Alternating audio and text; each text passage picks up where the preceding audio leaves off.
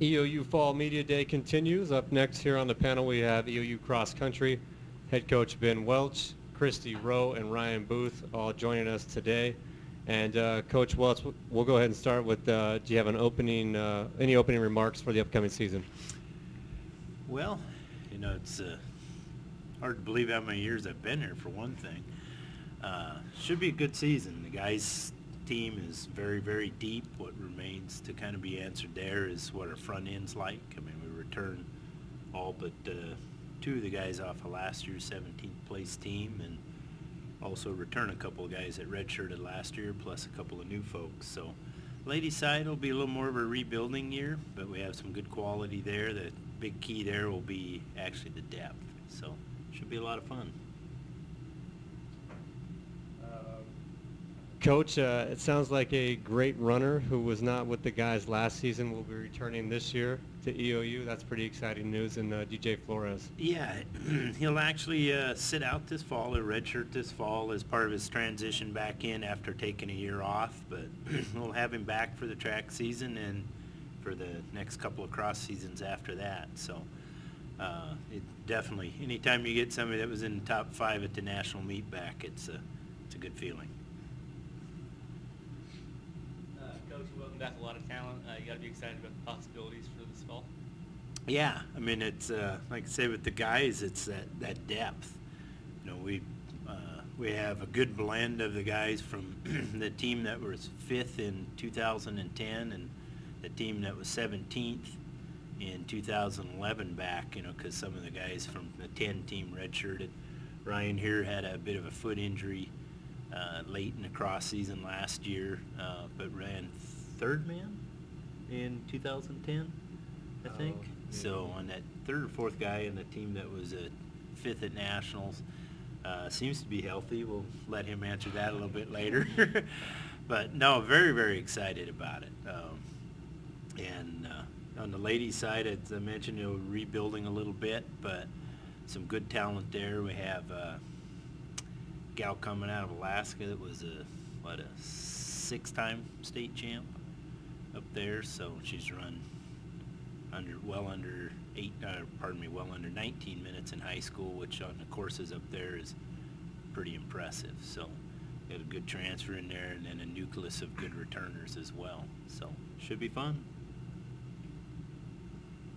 Eastern's got a long history of uh, cross country of being a great team. How do you keep those expectations high and work to, to achieve them every year? Oh boy, work is the key.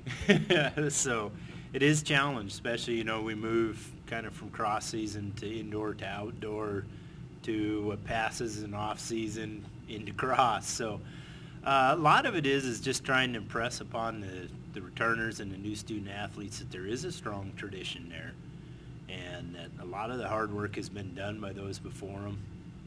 Uh, let's try to get them to buy into the training system. I adapt the training very much so for our environment so for a lot of the people, especially coming out of high school, it's a significant change from what they're used to.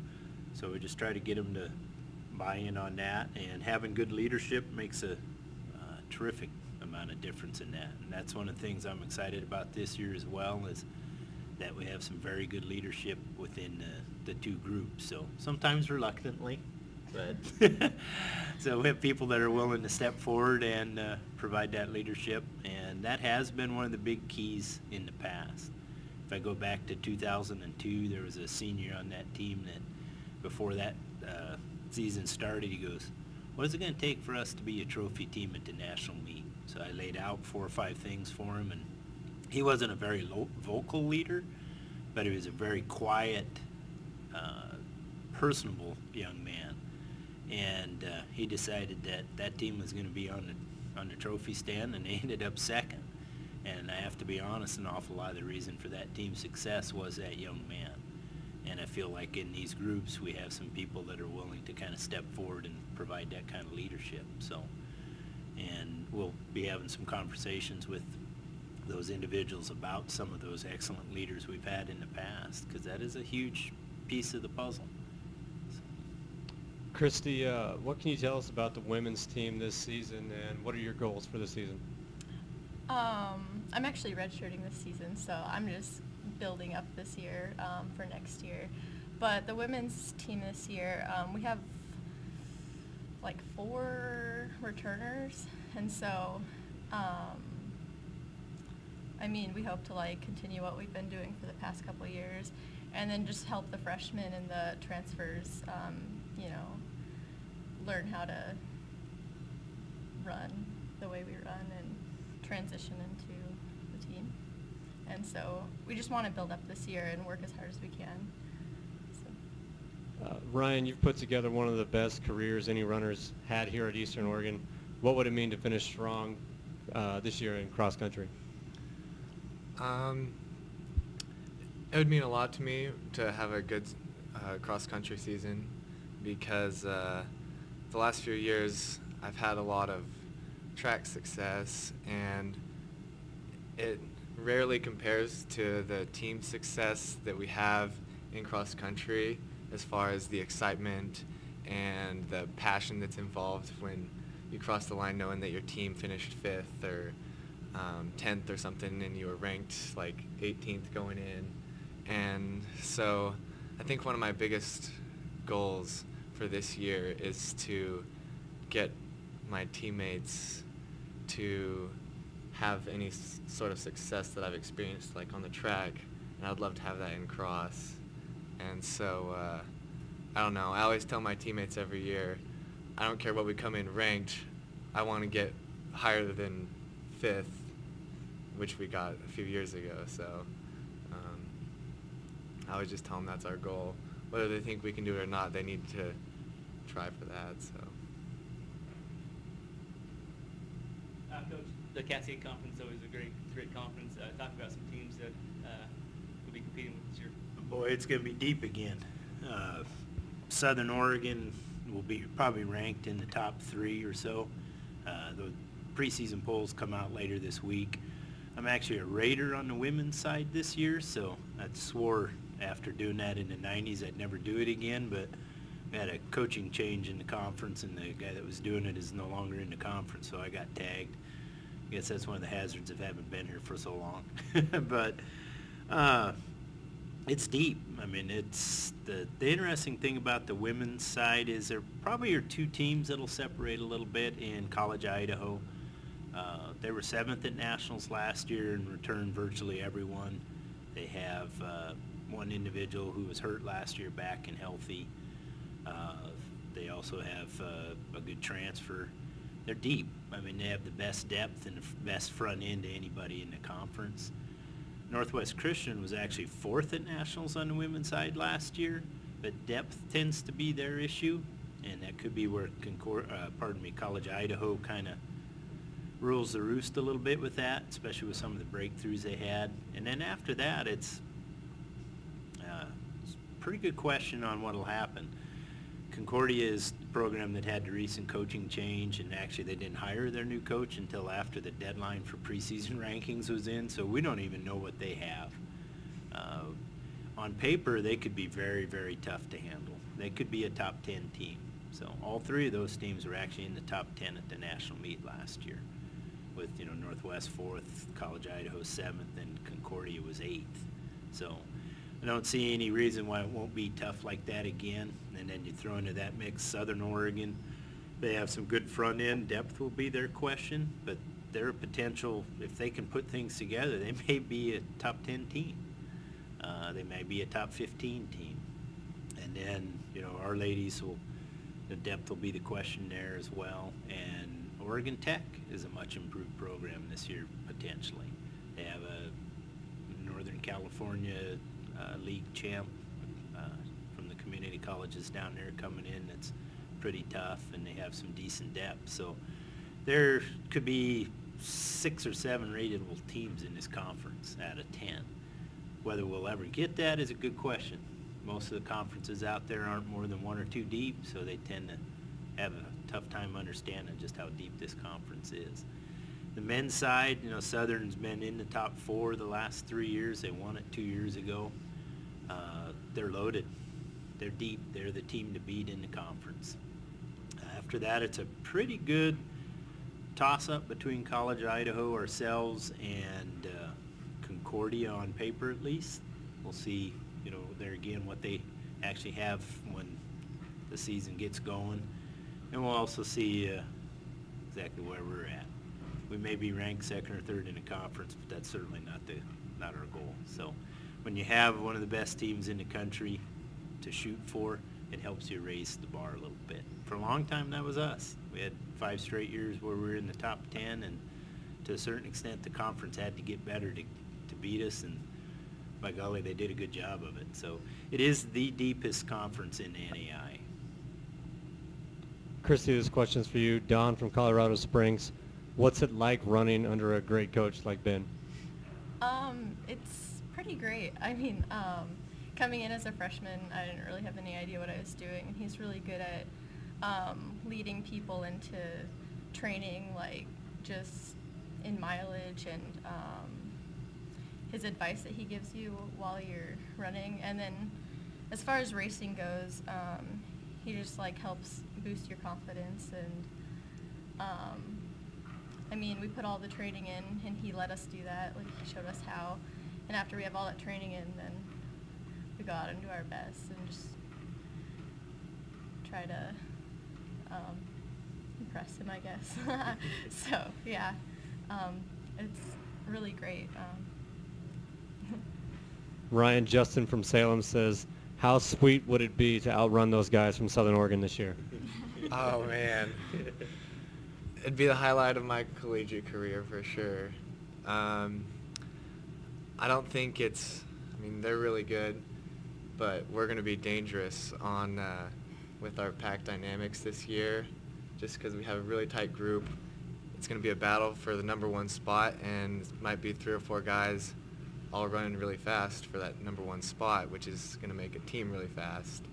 And uh, I think we have the the guys on our team that uh, they believe in themselves and they have a uh, a faith in our team's ability to come through in championship meets because they've seen what how Ben uh, prepares us for nationals and conference in the past, and we pass that on to the freshmen that hey, we perform well on these meets, so that's what matters, and time and time again we do it. So can only wait till then. Uh, Christy and Ryan, out of all the places you guys have run uh, here at Eastern Oregon, what's your favorite course? um, that's a tough one. I liked the Spokane race last year. We had a race up in Spokane, and it was actually for the women. It was a 6K instead of a 5K. We usually run 5Ks. It was nice to run a different distance, and um, it was a nice course. That was my favorite so far. I think my favorite course is probably uh, Willamette. Um, a lot of times the field is what makes that course so great, but it's got a lot of uh, uh, some small hills and some downhills. Um, helps for, to make you run in a good rhythm. And I'm a good rhythm type runner, so works really well for me to run that course, so I like it. Plus, he gets to finish with on the track. And Yes. Foot speed, that's a fearsome sight.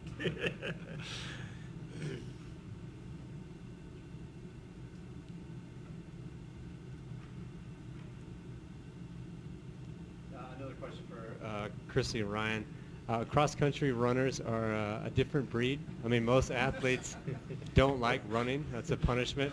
Um, you guys are pretty unique athletes. Uh, Talk about how difficult it is. Is it difficult to get out there every day and just run? When I first started running, um, and I first started training at Eastern, it was a little bit, it was kind of hard. And at first I was kind of driven by a motivation to see what I could do, to try to set some goals and meet those goals. And then as I got older and more uh, conditioned in the sport, it just kind of it kind of becomes something that you do to maintain a balance in your life. And so in the mornings I get up and I think, man, I'm just don't feel like today's going to be a good day. So I'll be like, okay, well, I need to go do a run. And I start start running and it may be horrible but by the end, everything feels great, and I get done with my run. I feel good about myself.